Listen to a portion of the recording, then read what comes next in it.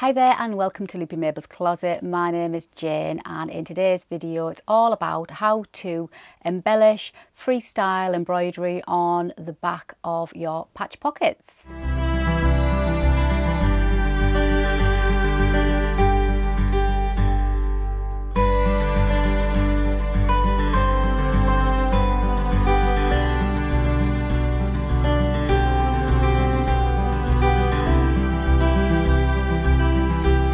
Hi, welcome back and uh, before I continue with today's little tutorial, what am I wearing? I am wearing one of my favourite, as you probably know if you follow me, one of my favourite tops which is a Somerset tee with these fabulous deep cuffs and like boat neck by Maven Patterns and this in this really pretty daisy fabric that I got from First for Fabrics and I'll put the links for both of those companies in the box below as usual.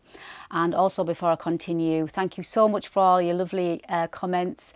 I'm so thrilled that you're enjoying my um, little mini series on making knickers and I've had quite a few requests since the last one on my block, how I made my block. So I'm going to have a little tutorial uh, coming on Sunday on how I made my knicker block just to help you if you want to have a go yourself and just what I did. So that's coming on Sunday.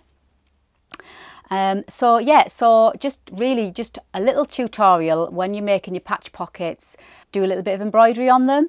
Now I was going to do some embroidery on my Jenny jeans. Um, I'll put a link for that vlog up there. But if you remember, I had such so much of a debacle getting that zip in that by the time I got the zip in I'd lost the plot and I forgot to top stitch the back of my pockets because I wanted to put a little design on it. So I thought well I'm still going to do it on future jeans or future trousers and I just thought well I'll just show you what I do and how I do my top stitching. So I'm just going to head on over to my cutting table, show you what, what, I do and hopefully just give you a little bit of inspiration or maybe you've never tried it before and just to give you a little bit of an idea what you can do. So I shall see you over there. So right, so how I do embroidery on the back of my pockets, I thought I'd just share it with you. It's really entirely how you want to do it. It's really the only thing that's stopping you is your creativity, so just go for it. I wanted to do my design on my Jenny pants.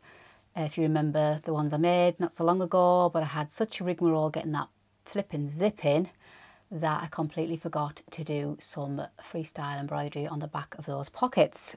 So I thought, well, I'll still show you what I would have done if I'd, if I'd put them on the jeans. And I've been kindly asked to review some Gutermann top stitching thread. They have kindly sent me this lovely pack. Uh, I'm not an affiliate or anything like that. They just sent me it and asked if I would like to do a review. So I thought this would be the perfect opportunity to test out this thread. So this is the pack that they sent me, but you, obviously you can buy individual packs. 100% recycled polyester it is, and it's really strong and obviously very thick. So obviously to use this thread, if you're going to use top, I mean, you don't have to use top stitching thread. You could quite easily just use your own normal machine thread if you wanted, but obviously the top stitching thread does show up a little bit stronger. And I'm using my jeans needles in my machine because obviously you need a nice sharp needle to go through the obviously thick the denim and obviously it's got a bigger eye so you can get your top stitching thread through. When I go over to the machine and show you what I'm doing, I have I will have one of these top stitching threads in the top part of the machine, but I wouldn't use it in the bobbin because it is very thick. I would just use a matching thread in the bobbin of a my machine. I'll show you when we go over there. So uh, if I use red, obviously I'll just have a red thread that matches it just in normal cotton thread. So that's the top stitching thread and I'll just show you some designs that I've had a go at, had a play at and show you how easy it is to just do your own. So I'll use the template from the Jenny, uh, the Jenny overalls, the Jenny jeans so I've just used this as a template for you in this, obviously this tutorial and I've got some leftover uh, denim from those trousers. So all I've done is just created a blank template off that. I'll show you a couple of that I've had a go at beforehand.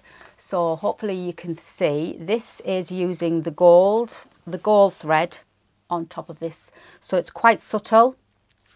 And let me just zoom in so you can maybe see a little bit better. And all I did with this one was divided my pocket in half and then in half again. And I made um, a mark for the middle, the mark for the middle for the each end and a mark for the middle for the on the top and then I just got my, my ruler and my fabric pen that uh, disappears with the heat of the iron. And from the middle one I just drew a line across the middle one and then I just used half an inch gap for the next and half an inch gap down for the next. And the same for the vertical stripes so I did exactly the same. And then I literally just freestyled. Now I didn't have to freestyle with this. I could have just left the normal foot on because we're working with straight lines and I could have just literally straight stitched down those lines and again with these but I freestyled these. So that was one design and obviously that's the colour on the colour. And again this is freestyle. Well a bit wonky there. So if I was if I was doing this I'd probably unpick this row and do it again. But you get my drift. It doesn't have to be perfect either. If you're doing freestyle embroidery that's the whole idea of it. It's freestyle and you just go with the flow uh, but just it's just an example of what you could do. And again I just drew no I didn't draw at all on this one. I just went for it. I went from the middle the middle line first and I just literally did a woof. And then I came down here and kind of kept the same distance. Went a little bit wonky there but anyway and then I came down and then I did a third and I came in and then went a little bit wonky there and down. But obviously you get the idea and I'll show you some more that I've been playing around with and we'll do one on the machine and I'll just show you how easy it is on the machine. For this example I just cut out some of my pattern trace paper I'll put the link for that pattern trace paper as usual in the box below. So again with this one I kind of used my template just for the width and the length of the pocket uh, and I just folded it in half so I could get roughly the centre of it and then I literally drew three horizontal lines with my ruler and then this one I just free freehand drew that little curve at the bottom. Here's another version that I did and I've just pinned it on to my pocket underneath and this one you can literally stitch on the paper, stitch through the paper if you wanted to do it that way and follow the lines that way. So there is an option. But again, this is another simple design, simple but effective. And you can literally sew straight stitches on this again so you wouldn't need to do any freestyle if you don't want to and this is a simple one that you could literally just draw straight onto your fabric again but this is just an option if you wanted to do your, use your paper so let's just bring this one on so there I will just line it up with I've got the marker there the marker there there and there one in the middle. So for this style I might want it lined up in the middle and maybe put it there. And then if I want to sew it on, leave it there, I would then obviously pin it. And then I could literally sew over the lines freestyle if I didn't want to draw straight on the fabric. So you can do it two ways. The only thing is when you top stitch over the paper, you might be left with little bits of tissue that you have to pull out. It's no big issue. So I'm going to take this one over to the machine and then um, I'll show you how I do my freestyle. Right, so I'm at my machine and hopefully you can see I've got my freestyle embroidery foot on. So all you would do is, is you, if you've got an, obviously a freestyle embroidery foot, you take your normal foot off and you would attach your embroidery foot to your machine and you need to drop the feed dogs. So if you're not sure where the feed dogs are, I'll just take off my little table there. You feed dogs on, well on my machine, mine's a brother, there's a little switch at the back of the machine here and you just slide it to once to the opposite direction that it's in and it drops the feed dogs which means you can move the fabric around freely without the feed dogs getting in the way and stopping. Obviously the feed dogs like to push the fabric whereas when they're down nothing moves, only the fabric when you move it. So you need to make sure you've done that and I've set my stitch length to three and a half. So let's have a go at using the tissue paper. And I'm literally, I've just pinned it where I want it to be on the pocket. Hopefully you can see that okay. And I'm just going to start here and freestyle on this line here. I just get my needle where I want it to be and literally you just hold the fabric that you do you're sewing on and literally go for it so let's just go for it oh one more thing the faster you go the smaller your stitches will be. So if you go nice and even your stitches obviously will be even and obviously the slower you go you'll have longer stitches. So if you go too fast they'll end up being tiny tiny little stitches. So just try and get a nice gentle pace and if it's a lot easier you can set your machine you can set it on the slowest and then you can't go any faster than that and it's a nice steady steady pace. I'm just going to put mine a little bit faster than that and you just literally hold your fabric taut flat on your machine bed and literally follow follow your lines that you've drawn And if you look at it like that you're drawing, you're drawing on the fabric, that's how I look at it.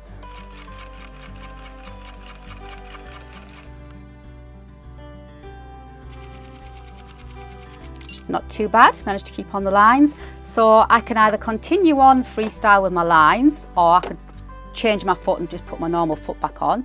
But I shall just freestyle the lines.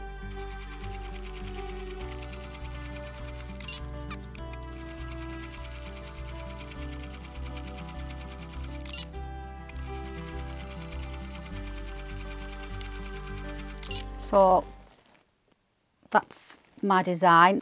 So you just literally tear your paper off. And should, you might have to pick a few bits off like so. Uh, if you wanted to do it this way. Just tears off. So for this example, I've just uh, put the feed dogs back up. I've just put my normal uh, foot on my machine and I've drawn out my pattern that I want just using my heat erasable pen and I'll just show you top stitching. Just a normal way if you don't want to do freestyle and it just well it's just normal just stitching really but I'll just show you.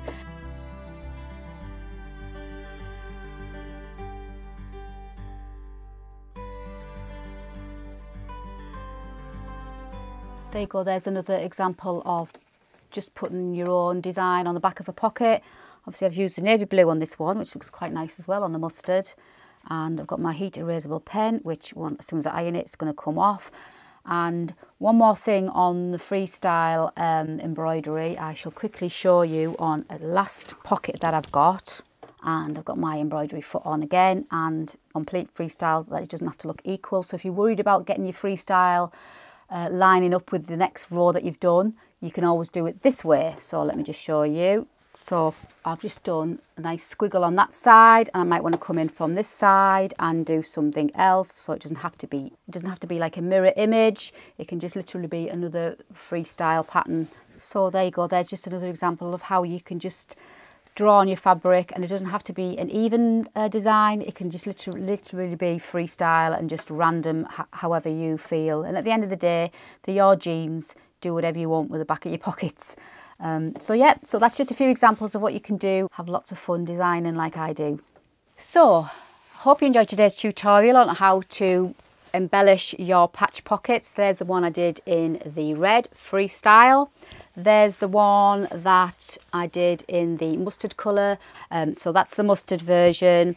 That's the navy blue version. That was using just the normal foot on the machine. No freestyle on that one but you could always go for some a design something like that where it's not even it's not equal it's not symmetrical or anything like that and then it doesn't really matter. The only thing that's limiting you is your imagination so just just go for it. And then when that's on the back of a pocket of a pair of jeans just imagine it folded over. So there I've, rough, I've roughly pinned it just to give you an idea of what the back of your patch pocket would look like when you've put it on your jeans or your Jenny trousers or your Pietra pants or whatever it is you're making. How pretty is that freestyle? And it's yours. No other design in the world is ever going to be the same because it's something you designed. Not only is the front of your trousers going to look great, but the backs are going to look great with your design pockets. So hopefully you enjoyed today's tutorial. If you did, don't forget thumbs up. And if you've just found me, please don't forget to subscribe. That really makes my day when you subscribe.